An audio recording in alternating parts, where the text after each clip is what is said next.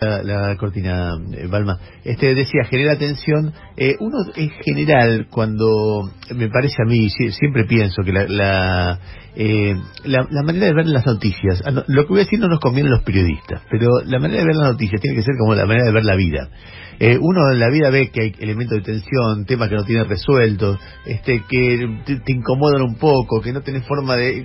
Y convive con eso. No quiere decir que todo problema termine en una crisis terrible. A nosotros los, los periodistas nos conviene eh, decir lo contrario. Dice, che, mirá el quilombo que hay.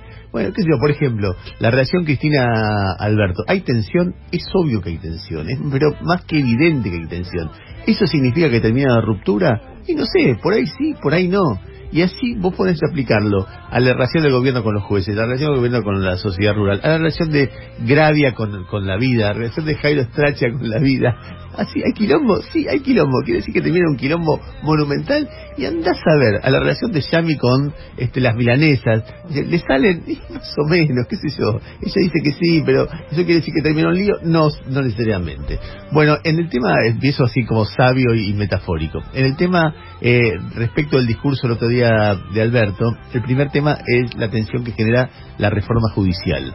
Ustedes saben que Alberto Fernández lo que propuso es la vieja propuesta de Belis cuando recién asumió Néstor Kirchner, que es, tenemos 12 jueces federales, terminemos con esta pavada. Si hay un montón de jueces penales, juntemos todo y que la, la- las este las cómo se llama La- la- las facultades que tienen los, los jueces federales se apliquen para todos los jueces penales. Por ejemplo, juicio de corrupción, no hay 12 tipos que lo investigan, hay 50. Juicio de narcotráfico, no hay 12, hay 50 y así.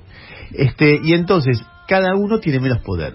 ¿Cuál es el efecto de eso? El efecto de eso es que es más difícil de manejar, porque hay mucha más gente. Entonces vos decís, de esos 50 tipos, primero que fueron designados en distintos momentos políticos, con lo cual ni sabés de dónde viene cada uno. O sabés, pero no sabés la evolución de cada uno, etcétera. Segundo que este que son muchos, no son 12, o sea, si querés apretar a 50 es mucho más difícil. Eh, y tercero, bueno, sería bueno que el mecanismo de sorteo de las causas o como fuere, este sea un poco más este eh, eh, transparente y, y- que no esté digitado. Entonces en eso vos lo que eh, idealmente, porque después está todas las tramoyas que puede haber en cualquier sistema político, idealmente vos lográs que haya un poco más de independencia de los jueces federales. De los jueces federales que ahora son 50. ¿A quién le molesta eso? Y le molesta a dos sectores. A un sector son los jueces federales, que te dicen, no, loco, me estás quitando poder. Y otro sector son los tipos que dicen, escúchame, le estás entregando la justicia la independencia. Porque te dicen, eh, a ver, compará, por ejemplo, esta, este, la, la reforma de Alberto tiene que ver con el Belis de aquel momento, que era el espíritu del primer Kirchner, el que hace la Corte Suprema Independiente. Después, en el kirchnerismo, surge otra línea que dice la justicia es la justicia de las corporaciones o la nuestra. Entonces pongamos nuestra gente, pongamos jueces militantes en la Corte Suprema, dijeron eso. Entonces los tipos que te, te- decían, copemos el Poder Judicial, te dicen, ¿cómo? Esto no es lo que nosotros queríamos. Nosotros queremos copar el Poder Judicial, poner gente de justicia legítima en cada ju- juzgado, en cada fiscalía, etcétera, para que nos responda a nosotros y podamos digitarlo como se... Ollarvi- tenemos que poner Ollarvides, tenemos que poner gente como Gregorio Dalbón, tenemos que poner gente, etcétera, etcétera, etcétera.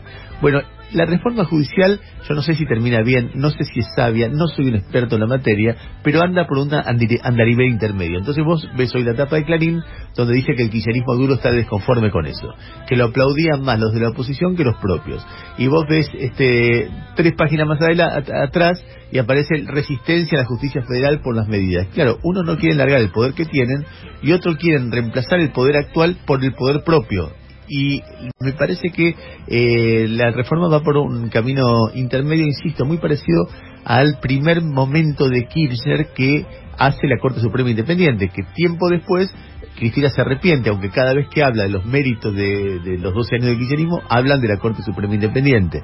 Entonces veremos cómo van saldando estos problemas. Pero claramente, si vos te, te fijás lo que era el último kirchnerismo, cuando hacía, vamos a renovar la justicia y vamos a hacer, los vamos a elegir por elecciones el mismo día de las elecciones presidenciales y a los jueces que sean elegidos en la boleta presidencial van a ser todos elegidos por ocupar la justicia. Era eh, para mí una visión de la justicia muy distinta a la que se expresa en la reforma judicial.